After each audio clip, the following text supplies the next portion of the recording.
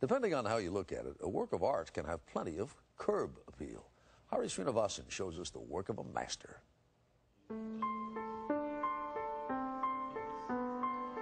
Millions of art lovers have traveled the world to see marvelous Monets and remarkable Rembrandts.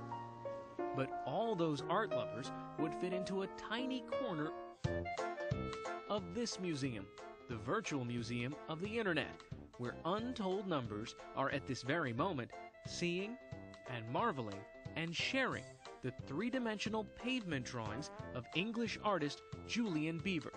So, really, the internet becomes your pavement. exactly. That's my medium, really. If it wasn't for the internet, uh, my stuff would be totally unknown.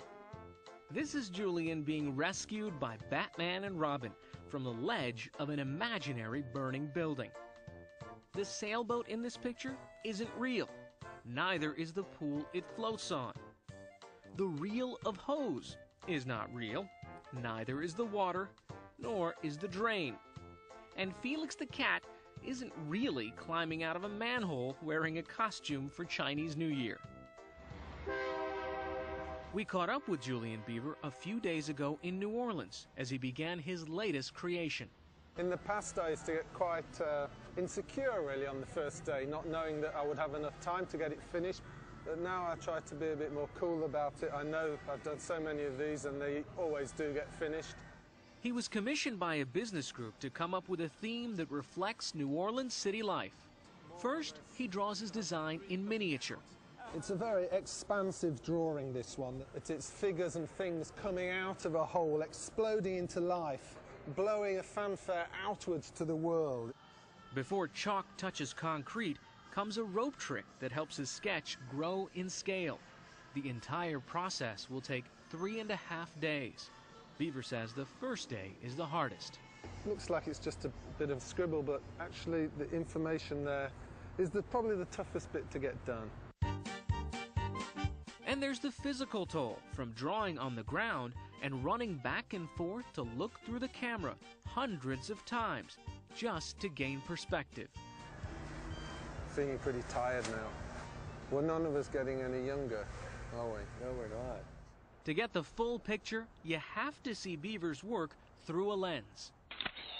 I think because the camera limits what your brain can do, it limits the brain's ability to judge distance, it makes you only use one eye, and therefore you can make the brain believe stuff that otherwise it wouldn't believe.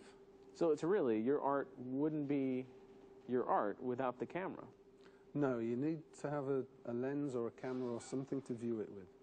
The original plan was to draw on a busy downtown sidewalk. The threat of rain moved him to this covered valet entrance at Harrah's Casino. How much of a following does Julian Beever have? Just ask a parking valet. Yeah, I've seen uh, a lot of his paintings on the internet. It's amazing, you know, it's uh, how it comes to life. After art school, Beever became a busker. He supported himself by making two-dimensional drawings on pavement for pennies from passers-by. He turned to three-dimensional art not by error but by trial, starting with a woman in a swimming pool her leg didn't come out quite right. I didn't really have the experience at that time to realize exactly how to do that leg in relation to the height of the camera. But he learned from that mistake and has been wowing people ever since. It looks dimensional. It does look dimensional. Yes. Isn't that amazing? That is just amazing. This made the trip all worthwhile. Oh, you're and she hasn't seen anything yet. Beever's bare bones chalk outlines are fleshing out.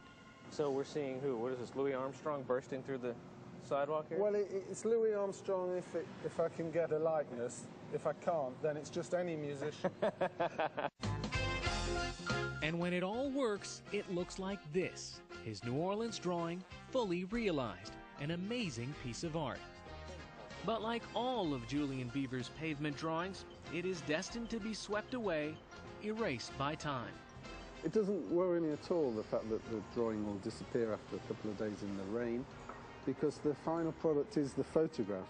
And if that photograph goes on the internet, then thousands of people will see it and it'll, it'll be there forever. So it, it doesn't vanish, really. The, the drawing on the ground's just a vehicle. Just one more way Julian Beever keeps things in perspective.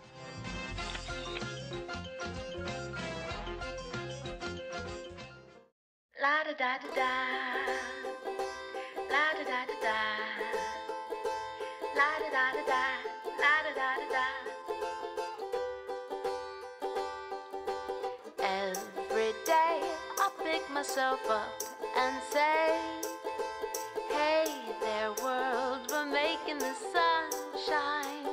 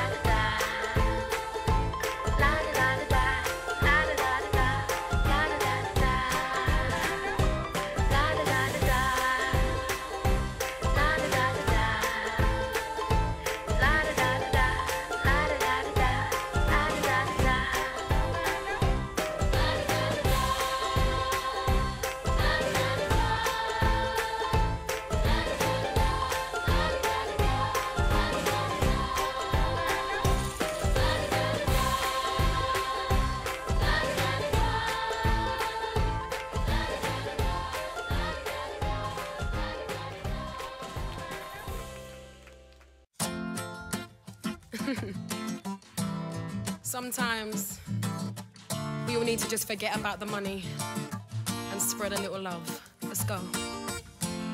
Seems like everybody's got a price. I wonder how they sleep at night. When the sale comes first and the truth comes second, just stop for a minute and smile. Why is everybody so? Acting so damn mysterious. Got shades on your eyes and your heels so high that you can't even have a good time.